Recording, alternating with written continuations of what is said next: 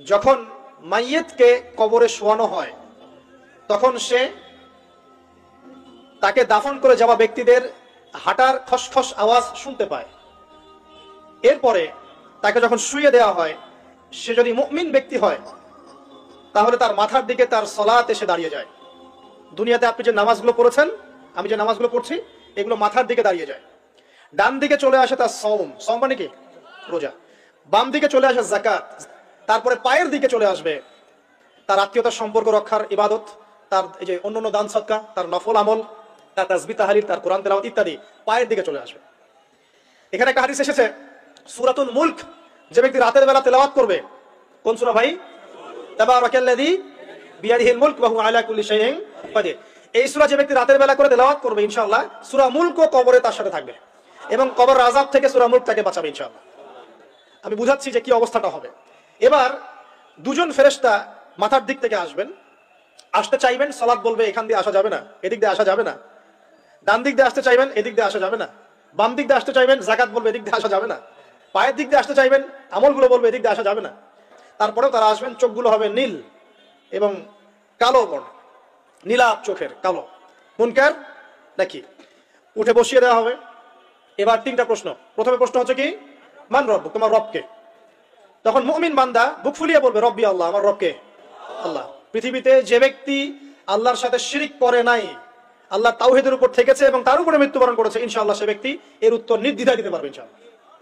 আর দুনিয়াতে যে বা যারাই আল্লাহর সাথে শিরিক করবে, আল্লাহর সাথে শিরকে পাবে লিপ্ত হবে, ওই অবস্থায় মারা যাবে, তাওহিদের উপর থাকবে না। কোশ্চিন কালেও মান রব্বক উত্তর দিতে পারবে? পারবে না।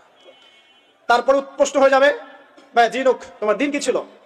মমিন মান্দা উত্তর দিবে কি? দিন ইয়ার ইসলাম, আমার দিন ছিল ইসলাম। এখানে শুনে রাখেন, পৃথিবীতে যারা ইসলামকে পরিপূর্ণরূপে পালন করবে, তারাই এই উত্তর দিতে পারবে ইনশাআল্লাহ।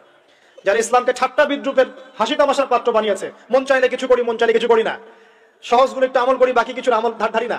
হ্যাঁ নামাজ পড়ি, সুদ ছাড়তে পারি না। ঠিক আছে? বছর বছর ওমরা করি, এদিকে ঘুষ দুর্নীতি ছাড়তে পারি না। ইসলামকে ঠাট্টা তামাশার পাত্র বানিয়েছে, এরা কোশ্চিন কালে উত্তর দিতে পারবে না মা দিনুক। দিনে পরিপূর্ণরূপে ইসলামে প্রবেশ করতে বলেছেন আল্লাহ রবুল্লা আলমিন। যারা পরিপূর্ণরূপে ইসলামে প্রবেশ করবে এবং ইসলামের প্রতিটা মৌলিক বিধান মেনে চলবে, ইনশাআল্লাহ তারাই উত্তর দিতে পারবে। এরপরে আসবে তৃতীয় প্রশ্ন। নবী সাল্লাহ আলী হাসলামকে দেখানো হবে। যখন দেখানো হবে, তখন সূর্য যখন ডুবে যায়, যে দৃশ্যটা আমরা দেখতে পারি না, ওই দৃশ্যটা ভেসে উঠবে। এবং মুমিন মান্দা অস্থির হয়ে যাবে, বলবে, আমাকে ছেড়ে দাও, আমি নামাজ পড়ব। সুবহানাল্লাহ। তার কারণ তার কাছে মনে হবে যে আসরের ওয়াক্ত হয়ে গেছে। আসরের ওয়াক্ত হয়ে গেছে, আসরের ওয়াক্ত চলে যাচ্ছে, আমাকে নামাজ পড়তে হবে। চিন্তা করেছেন? ওই যে একটা হাদিস আছে না যে সাত শ্রেণির মানুষকে আল্লাহ রবুল্লাহ আলমিন আরসের ছায়া ছায়া দিবেন। তার মধ্যে এক শ্রেণির মানুষকে যার অন্তর মসজিদের সাথে ঝুলে থাকে, তার মন মসজিদের সাথে ঝুলে ছিল এই সূর্য ডুবে গেল বলে আমাকে ছেড়ে দাও, আমি নামাজ পড়তে যাব। তখন ফেরেস তারা বলবেন, তোমাকে নামাজ পড়তে দেওয়া হবে, তবে তার আগে তুমি এর উত্তর দাও। কি উত্তর? এই ব্যক্তির দিকে তাকাও। তখন নবী সাল্লাহ আলী আসলামকে দেখানো হবে। সাল্লাহ আলী ওয়াসাল্লাম। দূরত পড়বেন। বলা হবে যে, এই ব্যক্তির সম্পর্কে তোমার কি ধারণা? মান রাজুল এই ব্যক্তি কে যাকে তোমাদের কাছে পাঠানো হয়েছিল? মুমিন ব্যক্তি বলে দিবে যে তিনি হচ্ছেন আমার নবী মুহাম্মদ রাসূলুল্লাহ সাল্লাল্লাহু আলাইহি ওয়াসাল্লাম। দেখুন, পৃথিবীতে যায় বা যারাই, পৃথিবীতে যে বা যারাই নবী সাল্লাল্লাহু আলাইহি ওয়াসাল্লামের সুন্নতের উপর আমল করবে, ইনশাআল্লাহ সে তার উত্তর দিতে পারবে। দুনিয়াতে যারা নবীর সুন্নতের পাঁচ পয়সা পরোয়া করছে না, তার আদর্শের পাঁচ পয়সা দাম দিচ্ছে না, তারা কোশ্চিন কালে উত্তর দিতে পারবে না। নাম হতে পারে আব্দুর রহমান, আব্দুর রহিম, নবীর সুন্নতের ধার ধারে না, তারা উত্তর দিতে পারবে না। তো নবীর সুন্নতের গুরুত্ব কত কত গভীর, এটা আমাদেরকে এখান থেকে বুঝতে হবে। তাই প্রিয় যুবক ভাইরা, মুসলিম ভাইরা আমাদের জীবনটাকে নবীর আদর্শ এবং শূন্যতে ঢেলে সাজাতে হবে। সকাল থেকে সন্ধ্যা পর্যন্ত প্রতিটা কাজ করব কার তরিকায়? রাসুলের তরিকা নামাজ পড়ব তার তরিকায়। রোজা, সিয়াম, হজ জাগাত আমল মোহামেরাত আখলাক সব কার তরিকায়? নবী সাল্লাহ আলী হাসাল্লামের তরিকা অনুযায়ী আল্লাহ তৌফিক এনায়েত করুন, আমিন। এবার ফেরেশতা দুজন জিজ্ঞাসা করবেন, অবাক হয়ে, যে তুমি কীভাবে এটা জানলে? তুমি কীভাবে এই তিনটা প্রশ্নের উত্তর দিতে পারলে? কারণ বেশিরভাগ মানুষ তো উত্তর দিতে পারবে না। বেশিরভাগ মানুষই এই উত্তর দিতে পারবে না। কারণ কেয়ামতের মাঠে হাজারে নয়শো নিরানব্বই জন মানুষ জাহান নামে যাবে। নাউজুবিল্লাহ। তো এটা কঠিন পরীক্ষা। আল্লাহ রসুল সাল্লাম বলেছেন যে নিশ্চয়ই তোমাদেরকে এখানে পরীক্ষায় ফেলা হবে। আর তোমরা যদি এই পরীক্ষা জেনে তোমাদের মৃতদেরকে দাফন করা থেকে বিরত না থাকতে, তাহলে আমি তোমাদেরকে শুনিয়ে দিতাম কবরে কেমন পরীক্ষা হয়। মানে যদি আমরা শুনতে পারতাম যে কবরে কেমন পরীক্ষা হয়, আমরা ভয়ে আমাদের মৃতদেরকে দাফন পর্যন্ত করতাম না। এটা নবীজি বলছেন সাল্লাহ আলী হাসালাম তাকে জিজ্ঞাসা করা হবে যে, তুমি কীভাবে জানলে এটা? বেশিরভাগ মানুষ তো পারে না উত্তর দিতে। তখন সেই ব্যক্তি বলে বলে বসবে। সেই ব্যক্তি বলবে যে, করা কিতাব আল্লাহ, আমি আল্লাহর কিতাব, এই কোরআন পড়েছি। মমিন বলবে, আমি আল্লাহর কোরআন পড়েছি। আমি এর উপর ইমান এনেছিলাম। ওয়া সাদ্দাকতু এবং সত্যায়ন করেছিলাম। সুবহানাল্লাহ। অতএব দুনিয়াতে যারা দিনের জ্ঞান অর্জন করছে না, কোরআন পড়ছে না, হাদিস পড়ছে না, পড়াশোনার চেষ্টা করছে না, জানার চেষ্টা করছে না, কবরে পাওয়ার পর ডিফিকাল্ট আছে। এটা একটা অন্যতম প্রশ্ন। আমরা কিন্তু মনে করি তিনটা প্রশ্ন হচ্ছে, আসলে প্রশ্ন হচ্ছে কয়টা? চারটা। তিনটার পরে আরও একটা এক্সট্রা কীভাবে জানলে?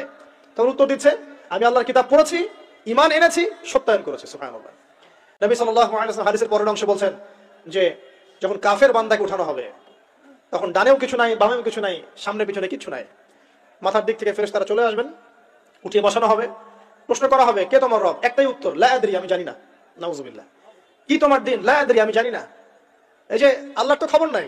আল্লাহ পাকের বিধান মেনে চলার কোনো খবরই নাই, পরোয়াই নাই। সে জানবে কীভাবে ইসলাম কি জিনিস? সে জানবে কীভাবে আল্লাহ কি জিনিস? ও তো আল্লাহকে চিনেই না। কত প্রশ্ন, ইসলামের এটা কেন, ওইটা কেন, ইসলামে বহু বিবাহ কেন? হ্যাঁ ইসলামে কি পর্দার বিধান কেন?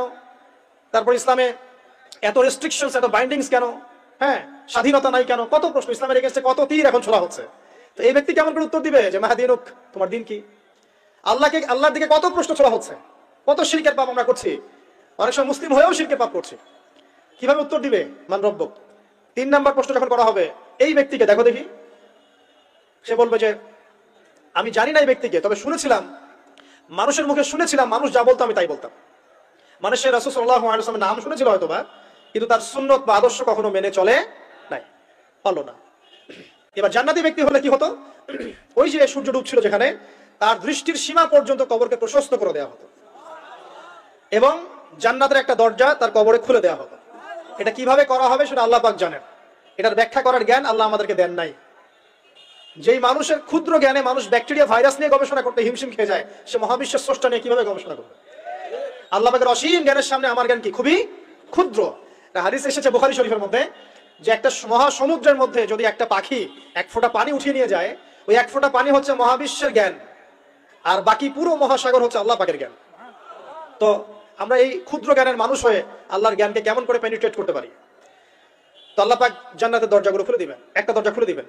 সেখান থেকে বাতাস আসবে জান্নাতের নাজ নিয়ামত উপভোগ করতে থাকবে এবং তার রুহটাকে সবুজ রঙের পাখির আকৃতিতে জান্নাতে রেখে দেওয়া হবে। ইল্লিন মানে ওখানে জান্নাতের নিয়ামত সে পাবে। এটাকে বলা হয় দারুল বারজাখ বা বারজাখের জীবন। পাপি ব্যক্তি হলে জাহান্নামের দরজা খুলে দেওয়া হবে, আর জাহান্নামের সে আজাদ ভোগ করতে থাকবে, এবং পুণ্যবান ব্যক্তি হলে জান্নাতের দরজা খুলে দেওয়া হবে, এবং এর নাজ নাজ নেয়ামত সে ভোগ করতে থাকবে। তখন তাকে বলা হবে, এটা জান্নাতের সেই জায়গা যেখানে তুমি থাকবে। এটা দেখার সাথে সাথে, শোনার সাথে সাথে তার যে খুশি উৎফুল্ল তার অনেক বেড়ে যাবে। এবং সে কি করবে জানেন? সে পৃথিবীতে ফিরে আসতে চাইবে। সে বলবে, আমাকে, আমার পরিবার বর্গকে জানাতে দেন। আমাকে, আমার পরিবার বর্গকে জানাতে দেন যে আমি ভালো আছি। তখন ফেরেশতারা তাকে বলবেন যে এটা সম্ভব না।